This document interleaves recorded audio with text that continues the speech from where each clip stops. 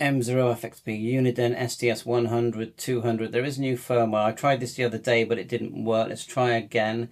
It's the uh, 30th of March 2025. Just check that it's the right model. So we go target. At the moment, we're on the 100E. And let's just go update. Update firmware. Last time it said up, up to date. Let's try again. Sorry about the banging. Ooh. Yeah, something's actually happening. So it looks like it is updating the firmware. This I've read it. It's to do with trunking and TDMR. Anyway, let's follow the instructions. It says here, use your PC's unmount function to unmount the scanner. So we're going to go to the actual file where it finds the scanner because it treats it like an SD card. So we're going to go right click and then eject. And then it says, uh, press and hold the power button. Press and hold the power key to start the update. So let's do it. Power.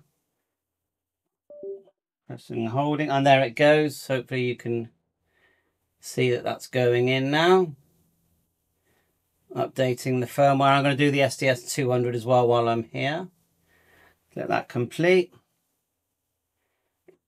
virtually identical process.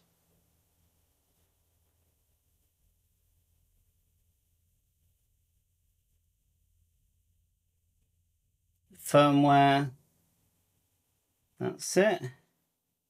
And then we'll have a look at the settings, just see what the firmware is. Let it load up. We just go to settings, take out the SD card, go to settings.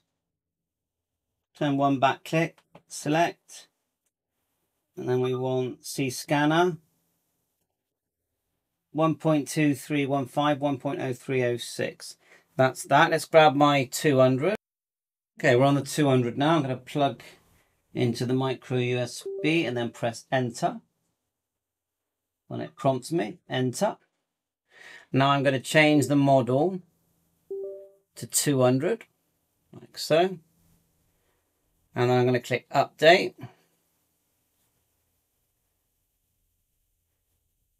and it'll be the same process. Click OK, and then the server starts to do exactly the same as what we just did. And then we'll follow the instructions. That's both sets done. And then we're going to see if we can find the change log now. That's good. So it says here, after disconnecting the cable, it just updates. So there's no button pushing.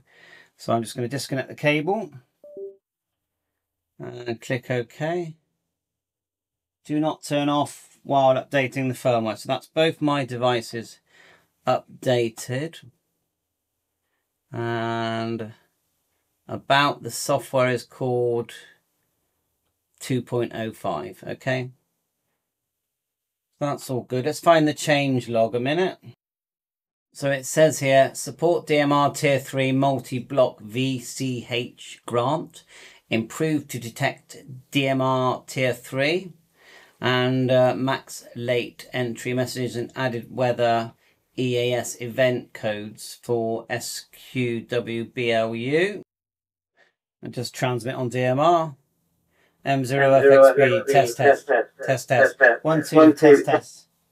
You can see you got the DMR number, the talk group, it's all there. Thanks for watching. Bye for now. 7 3.